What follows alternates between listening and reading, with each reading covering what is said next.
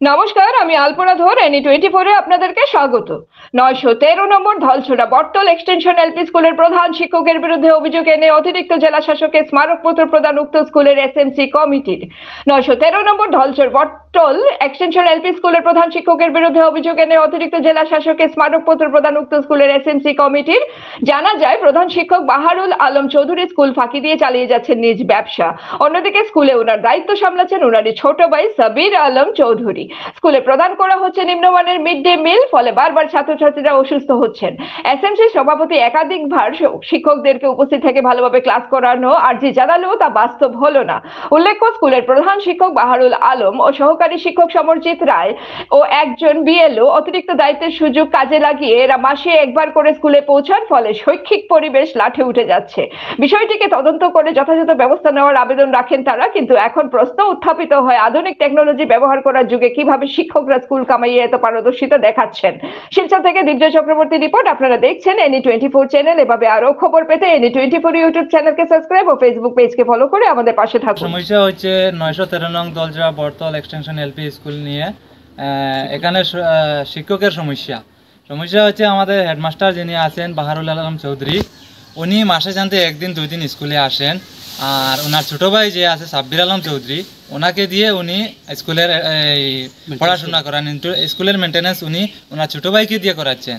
আর উনি ওনার personal business নিয়ে ব্যস্ত থাকেন। লালাবাজারে ওনার সিএসপি আছে।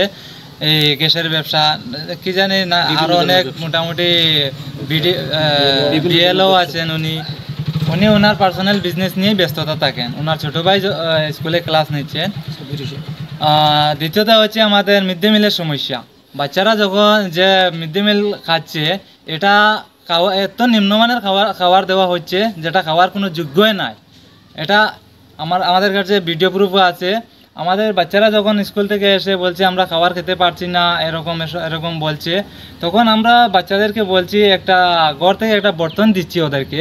বলে, তোমরা ওটা করে নিয়ে এসো, আমরা ওটা দেখব কীরকম খাবারটা দিচ্ছে। তখন ওরা তো এই বাটিতে খাবারটা দিচ্ছে না। মাস্টারের যে হেডমাস্টারের যে ছোটো ভাই ক্লাস নিচ্ছে উনি ওই বাচ্চাদের কানের মধ্যে মারতে থাকে। বলে নাই বাটি তোমাদের বর্তনে দিব না। আমাদের যেটা স্কুলে তালা বাসন আছে ওটাতেই খেতে হবে। খেতে হলে খাও না হলে চলে যাও। এরকম বলে। তারপরেও আমাদের স্কুলের এ, ইয়ে স্টুডেন্ট আছেন দুইশো উনচল্লিশটা বোধ হয় উনপঞ্চাশ। দুইশো দুইশো উনপঞ্চাশ জন। দুইশো উনপঞ্চাশ জনের মধ্যে এই শিক্ষকের অভিযোগ অবস্থার কারণে শিক্ষাও পাচ্ছে না স্কুলে চারজন টিচার আছেন। চারজন টিচারের মধ্যে দুজন মোটামুটি হিসাবে রেগুলার আসেন আর হেডমাস্টারের তো ডেইলি অনুপস্থিতি থাকেন। আরেকজন আছেন সমরজিৎ। উনি তো আর আমরা কেউই চিনি না। আমাদের এখানে যে মাস্টার আরেকজন আছেন এই বলে আমরা কেউ চিনি না ওনাকে। স্কুলে আসলে তো চিনবে কোনো ছা- ছাত্রও ওকে চিনে না কে উনি? স্কুলে বোর্ডে আবার ওনার নামও আছে। তাই আমরা বাধ্য হয়ে কমপ্লেনটা করতে বহুত দুঃখজনক হিসাবে আমরা কমপ্লেনটা করতে বাধ্য হলাম।